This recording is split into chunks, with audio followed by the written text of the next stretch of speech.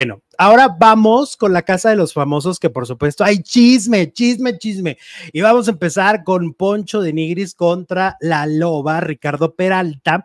Y mira, el, siguiente audio lo explica todo. Es una combinación, lo que van a escuchar es una combinación de Poncho de Nigris hablando de Ricardo Peralta y la otra voz que es la voz que escuchan, que no es Poncho, es Charlie la pareja de Ricardo Peralta. Vamos a escuchar esto para que vean el contexto. No, ya lo dije, ¿no? Ricardo Peralta es, es insoportable, es como... Pero es que aparte está feo el güey, o sea... Hola, ¿cómo estás? Me presento, yo soy Charlie, soy el novio de Ricardo. Eh, y recientemente me he encontrado en el internet con varios videos, varios material, ¿verdad? En donde pues has estado hablando de una manera muy despectiva acerca de él, pero me llama mucho la atención que la gente que conoce a Ricardo en persona y que sabe cómo es él, sabe cuál es su humor, sabe cuáles son sus manerismos, etcétera, eh, pues de repente ahora salga con estos comentarios de viene muy inventada. Está muy inventada con, eso de que tracas y eso de que estos, esos modismos. Eh, bebé, perdón, Ricardo siempre ha sido una inventada. Siempre. El día que fue a tu programa fue una inventada. Él es así. Es que ahorita digas eso se me hace fuera de lugar. Igual que te estés refiriendo a él con este, con estos adjetivos muy racistas, muy clasistas. Me parece insoportable sus caras como si estuviera ah, pinche nacayote bajado de la montaña y, y todavía se cree así como que gente y no sé qué. No, no, no. Que no son en tono como que de broma, sino que son realmente lo que piensas. Eh, no solamente se me hace fuera de lugar, se me hace muy gato de tu parte. Y pues qué lástima, porque pues eh, sí veo que a lo mejor no eran amigos, pero pues sí platicaban varios, ¿no? Entonces, qué decepción para Ricardo, ¿no? Cuando salga de la casa y pues vea el tipo de gentuza que eres y que nada más te aprovechas de las personas cuando están en un buen momento. Qué fuerte las dos cosas, ¿no? La primera, la de Poncho y Nigris. Me parece que los argumentos de Poncho es, es Poncho siendo Poncho. ¿Quién es Poncho? Y lo hemos dicho aquí en múltiples ocasiones de las últimas veces eh, tan desagradables que escuchamos fue lo de la pastelería que luego su soberbia decía, es que yo ayudé a que, a que vendieran pasteles. No, mijito, no, no, no, tu intención era denostarlos, ¿no? Eh, es un tipo muy clasista, eh, eh, porque yo creo que puedes argumentar, oye, ¿sabes qué? Como que Ricardo, como lo que hemos hecho aquí, como que Ricardo está muy intrigoso, como que Ricardo está mostrando una personalidad oscura, como que no me encanta su forma de comportarse con sus compañeros de la casa de los famosos, pero irte a lo básico, irte a que si esa afeminado, que se viste de cierta forma. Eso es básico en, en el sentido de, es un argumento, como yo lo decía ayer y hoy lo vuelvo a decir, avísenme que estamos en 1970, porque estos pensamientos de que la gente no se puede vestir como quiera, que pueda ser femenino o no, pues parecen ideas de 1970. Imagínate qué pensará de Wendy, entonces demuestra que ahí amistad no hay, es, hay puro interés.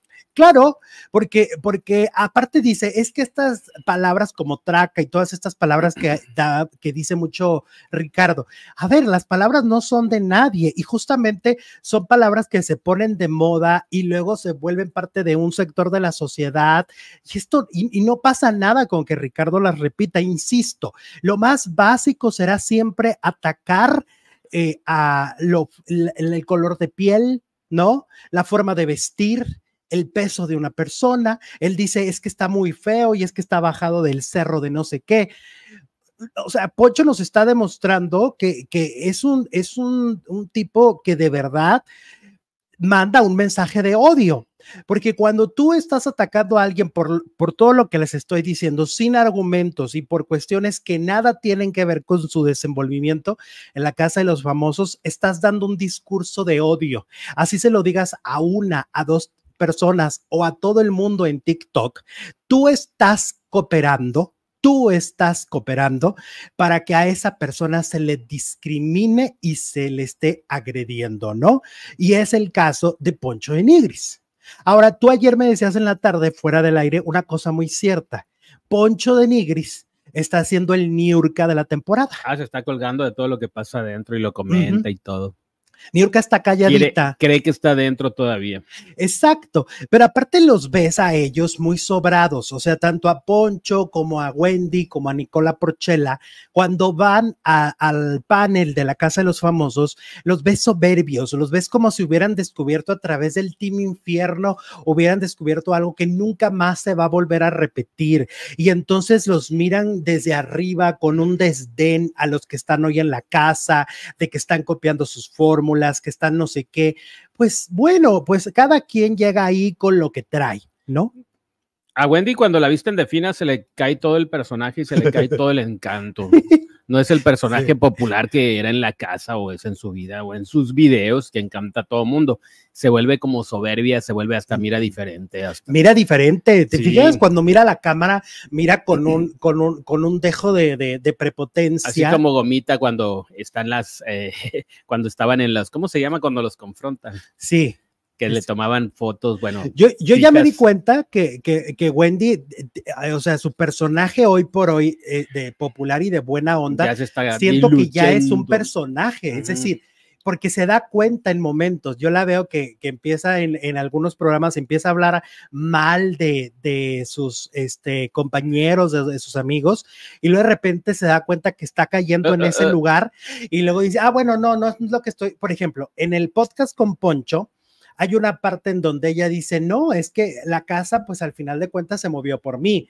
Y luego como que ya se da cuenta y dice, bueno, no, es que éramos todos. Entonces dices, a ver, lo acabas de decir. Lo primero que dijiste es lo que querías decir. Lo otro es. Proyectaste. Exacto. Lo otro ya es cuando tu cabeza te dice, está mal, ah, Wendy, ah, está ah, mal. Te estás yendo al te estás yendo al lado oscuro, Wendy. Exacto. Entonces, la Wendy que estamos viendo como panelista, y ojalá este video lo vea ella, Wendy, en verdad, te voy a decir lo que veo yo en la pantalla y a quien veo yo en la pantalla es a un ser soberbio.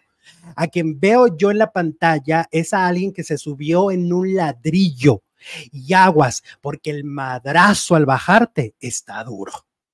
La neta. ¿Qué nos dice la gente? Yo no critico a Ricardo por su rostro, dice Candelaria. A mí me gusta su actitud cero. Eso, tú puedes decir, ¿sabes qué? No me gusta la personalidad, no me gusta que, que, que es, es, es, intrigoso, que está ahorita intrigando contra gente que ni al caso. Pero lo otro me parece que no viene, no viene a tema, no es tema, no tendría que ser tema. Fíjate, yo no lo conocía ni nunca he sido fan de sus videos y sí puedo decir que se me ha inventado, pues sí, es inventado, pero pues sí siempre lo ha sido. Siempre. Claro, siempre lo ha sido y él mismo es que tendrían que ver su contenido. Y él en sus videos, tanto con eh, el trío de tres, tanto también con Pepe, con Teo, Pepe y Teo, eh, o sea, en los dos canales, en esos dos contenidos, tú puedes ver cómo él mismo se burla de muchas cosas. Él mismo se burla de lo que, eh, cómo ha ido construyendo su imagen, ¿no? Y yo la verdad es que te lo digo, Jesús, si tú mañana por poner un ejemplo, un día vienes de falda, ¿no? O un día vienes de pantalón, o un día vienes vestido de vaquero, o un día vienes de, lo que me digas, eso no te define. Para mí no te define. Para mí define a el buen compañero que tengo en el micrófono, al producer que, que quieren los faranduleros. Para mí eso te define. No te define si, si te vistes como te vistes o te quieres poner el cabello negro o rojo o verde, ¿me entiendes? Y eso es lo que tendría que importar. eso es lo que tendría que importarnos, Jesús, de los seres humanos, ¿no? Y además, este, sí, o sea, sería ridículo que yo, siendo este alguien dentro de la comunidad LGBT que nos discriminan tanto todo el tiempo, que yo mismo le diga eso a alguien por su color de piel o por su peso, por lo que sea, por lo que se me ocurra, la estupidez que se me ocurra, pues tenemos un problema. Trátenlo en terapia a ver en dónde, pero trátenlo. Este, mm, hablando de Wendy, Wendy tiene un enfrentamiento con Gomita, ¿ok? ¿Por qué? Yo en serio no termino de entender, porque, a ver, aquí hay un antecedente interesante. Cuando Wendy estuvo dentro de la casa de los famosos, si alguien apoyó a Wendy afuera, fue Gomita. Todo el tiempo. Claro, todo el mundo lo hacía, pero en especial Gomita. O sea, desde el principio era, es mi amiga, voten por ella, es lo máximo, bla, bla, bla. La mamá de Gomita igual, ¿no? Y entonces ahora cuando eh, está Wendy, está dentro de, de, este, de esta segunda temporada como panelista, pues dice que la decepciona Gomita, que es, su amiga afuera, pero que lo que está viendo en la casa la decepciona, que porque cómo se comporta con Karime y que no sé qué. Y entonces, este, la mamá de Gomita dijo que, que la había decepcionado a ella, Wendy, ¿no? Porque cuando le habían mostrado tanto apoyo y tanto cariño, pues les parece como que, que estamos escuchando. Y entonces, em, Wendy dijo, pero es que es su hija la que ha decepcionado a todo México. Entonces dices tú, a ver, entiendo que pueda ser una opinión, pero no se supone que en medio de esto, más allá de un reality show, son amigos amigas. Se suponía que era amiga de Agustín y tampoco lo está defendiendo. es que ah, la Wendy de hace algunos meses sí hubiera entendido la actitud de Gomita, pero la Wendy que ahora se junta con Nicola y con Poncho de Nigris, pues es, esta que estamos viendo. Exacto. Es esta, esta Wendy sobrada, esta Wendy prepotente, ¿no? Haciendo daño, ¿eh? Es lo que te viene manejando ahorita la prepotencia, es lo que te viene manejando, ¿no? Es su, es su modo de, de andar. Y, bueno, pues Gomita se puso enfrente y a ella le está tocando, ¿no? Por lo visto. Ahora, eh, uno de los hijos de Mario Besares escribió en redes sociales un mensaje.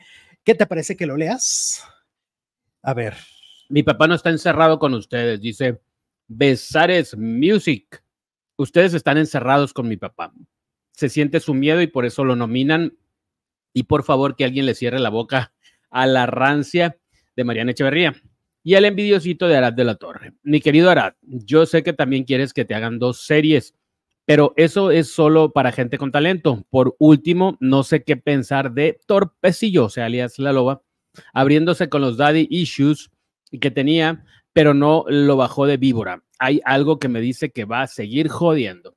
Ese es uno de los hijos de Mario Besares publicando en redes sociales este mensaje hacia tres de los integrantes de la Casa de los Famosos, Mariana Echeverría, Arad de la Torre y a Ricardo Peralta, ¿no? Entonces, pues mira, ahora sí que cada quien está defendiendo a su, a su gente, ¿no? Yo no esperaría menos de un hijo, o sea, me parece que está bien. ¿no? Que él defienda a su papá y diga, eh, no estoy de acuerdo en lo que le están haciendo, bola de hipócritas, ta, ta, ta, ta, ta. O sea, me parece que está bien. Creo que, creo es lo que, se espera de un hijo. Es lo que se espera, así como vemos, por ejemplo, a la hija de Chanik defendiéndola y ayudándola en promoción por todos lados, ¿no? La hija de Chanik, yo la he estado viendo dando entrevistas y obviamente mostrando el apoyo a su mamá, la adora y eso se nota. Que por cierto, Chanik contó ya lo de Marcela Basteri, ¿no? Que también había sido una condición de que si se quedaba, iba a contar la historia de la mamá de Luis Miguel. Y ya soltó toditito. ¿Y que ya habíamos visto parte de la serie, pero no tan explícitamente como lo dijo Chanik. Ajá. Dame pues que en los tiempos de de en que Luis Miguel iba empezando, o sea, no era nadie, porque era un niño, obviamente. Su papá, Luisito Rey, era muy amigo del Negro Durazo, el jefe de la policía capitalina, y el Negro Durazo tenía la, ¿cómo decirle? La costumbre. Sí. Pues era muy mujeriego y entonces veía a una mujer y decía, a ver, díganme cuál es el problema de esta mujer. Le pega el marido, no tiene dinero, no tiene trabajo. Yo se lo resuelvo. Ok. Pero ya saben que quiero a cambio y Luisito Rey sabía ese, ese detalle del negro, entonces llegó y le dijo, mm, negro, veo que te gusta mi mujer. ¿Qué tal si me llevas a, a Luis Miguel con Raúl Velasco y pues dando y dando, intercambio? Y pues lo demás es historia. Ok.